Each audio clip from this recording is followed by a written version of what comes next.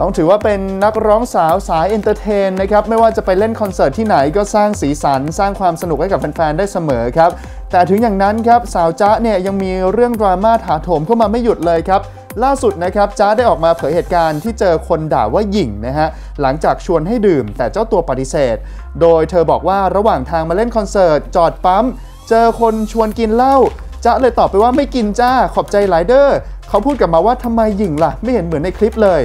ซึ่งเคลียร์ก่อนนะชีวิตประจำวันเนี่ยจะเป็นคนไม่กินเหล้าถ้าเพื่อนสนิทจริง ๆ จะรู้จะจะกินก็ต่อเมื่องานวันเกิดตัวเอง แล้วก็งานวันเกิดคนสนิท หรือว่าเวลาไปเล่นตามผับที่มีพี่ๆน้องๆ เป็นสาวแรงๆหรือว่าตามผับที่มีแม่ๆสาวสองเยอะๆเนี่ยแต่ถ้างานปกติงานวัดอย่างงานวันนี้งานภายในก็ไม่กินจ้า อ๋อ เดี๋ยวเข้าพรรษา 3 เดือนนี่ก็งดเด็ดขาดเลย ไปเล่นผับไหนใครยื่นแก้วให้จ๊ะไม่กินนะ อย่าว่ากันเด้อ